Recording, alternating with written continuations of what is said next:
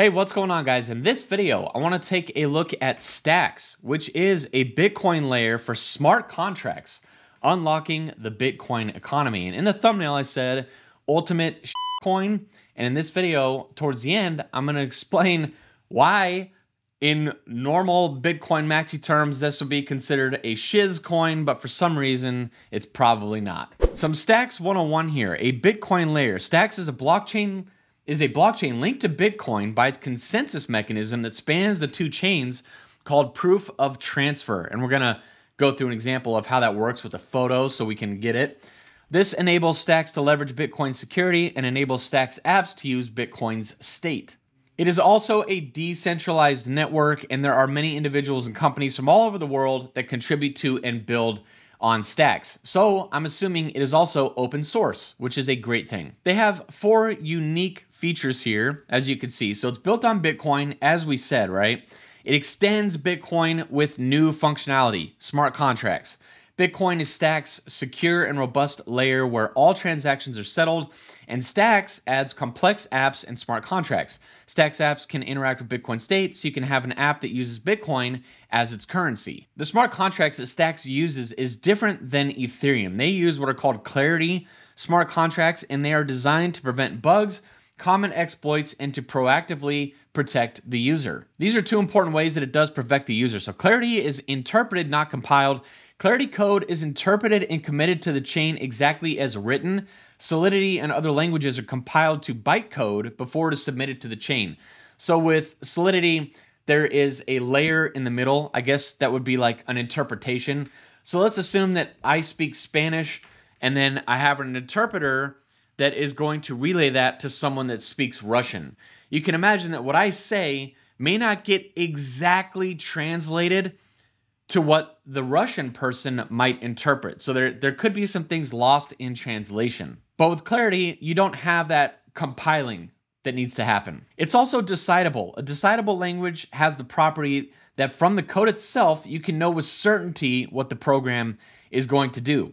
Decidability also allows for complete static analysis of the call graph so you can get an accurate picture of the exact cost before execution, which is good for gas. I didn't understand the first half of that sentence, but picture exact cost before execution is a good thing. Then they go on to describe some of the bugs or the attacks that it it it uh, it solves against, like reentrancy and these others. Consensus it uses to tie itself to Bitcoin is called proof of transfer. It recycles Bitcoin's proof of work to achieve both levels of decentralization and scalability without additional environmental impact. So it uses Bitcoin, but there's not more hash power required for stacks to function. Proof of transfer's other half is called stacking, which enables holders of Stacks token to earn Bitcoin. That is something pretty cool about this. If you have stacks and you stake your stacks, you do you could earn Bitcoin. Explanation here, proof of transfer is an extension of proof of burn models where miners compete by burning, destroying. A proof of work cryptocurrency from an established blockchain is a proxy for computing resources. And one that comes to mind like this is Coinos, where you buy some Coinos token and then you essentially burn it on the network. So you, you give that up, but then you earn back what you burned plus some. Like proof of burn here, however, rather than burning the cryptocurrency, miners transfer the committed cryptocurrency to other participants in the network who are stacking, and they're referring to Bitcoin. This is a graph of what that looks like. So you've got a miner. A miner is going to give up their native Bitcoin to the Stacks network. And they're gonna they're gonna mine that for the ability to validate blocks on Stacks. When they bring their Bitcoin over, it goes to the stackers.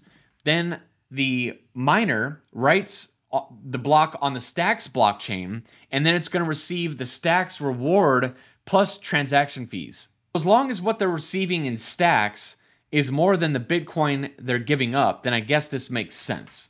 This isn't automatic. Bitcoin miners have to give up their Bitcoin in order to participate in this. So it's not like just because there's ASICs out there and there are Bitcoin miners that stacks just works.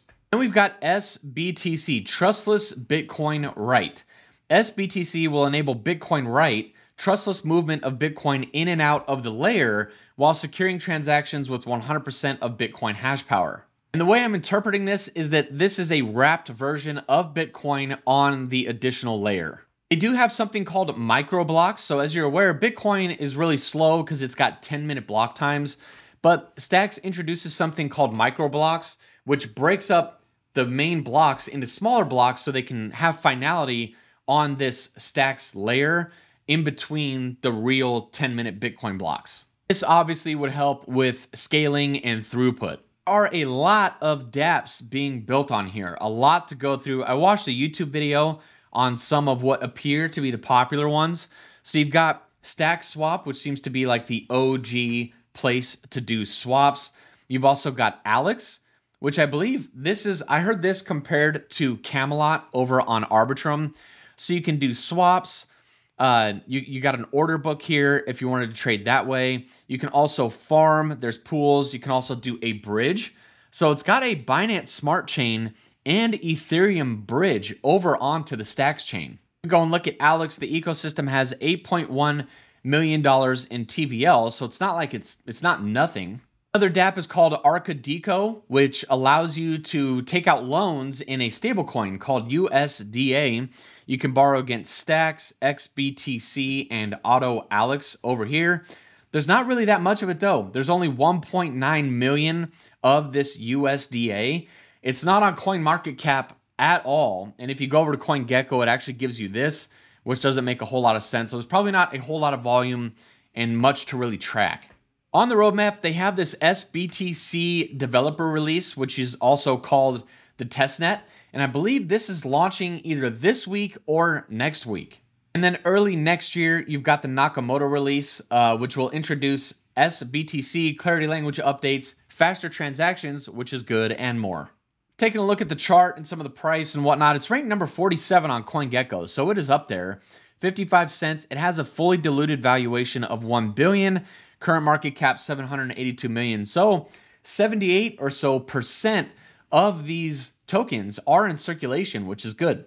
It's made it all the way up to $3 at the height of the bull run. So it's down, you know, what about five, six, whatever percentage that is. Still down 83% over here on CoinGecko. This is where I was having a little bit of fun calling it a shiz coin, right? Is because it had a it launched this token through the SEC in 2019 and it did have a pre-mine of 295 million stacks tokens which is about one sixth of the supply and it went to the team early investors that kind of thing just like you hear bitcoin maxis complain about with some of the other projects this one is doing the same thing so any maxi that likes stacks but doesn't like some of the other projects that are out there just based on the fact that the team got an allocation and they had money, uh, they had to raise money to fund development, just doesn't make any sense to me. So 215 million stacks tokens went to voucher people, the voucher program at 12 cents. And I assume this was mostly like insiders that were on a that were whitelisted. Then you had 40 million stacks tokens that went to qualified purchasers, right? Just a big walled garden for all this stuff, and another 40 million uh, for app mining program.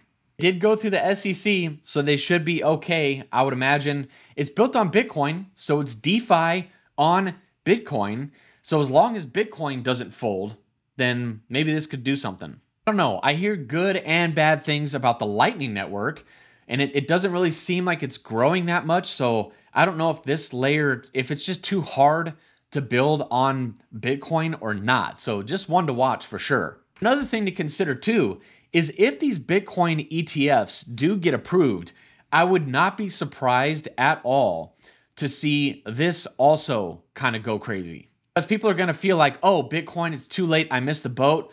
But DeFi on Bitcoin, what's the leading one of those? And it stacks, ranked number 47. So it's still in the top 50 so, but it still has some definite upside potential. In my opinion, again, though, none of this financial advice. What do you guys think of Stacks? By the Bitcoin Maxi standards, is this a crap coin or do you think this is a legitimate project? As always, if you're still here, don't forget to hit the like button, subscribe, and hit the notification bell, and I'll see you on the next one.